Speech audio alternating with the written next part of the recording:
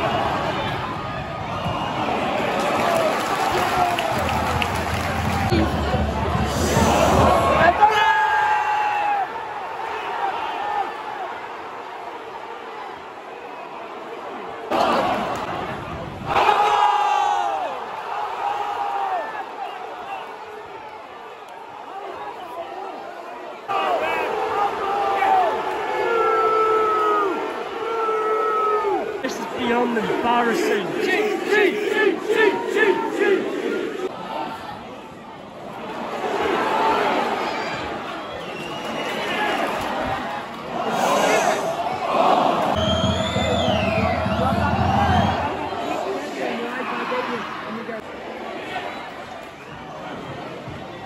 Corner.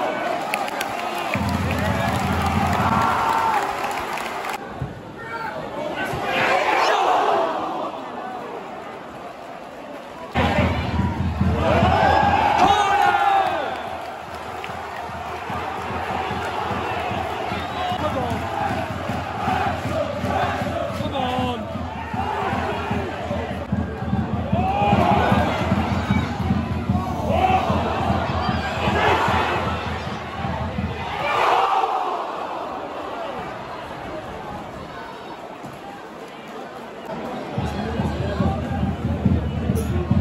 Good touch.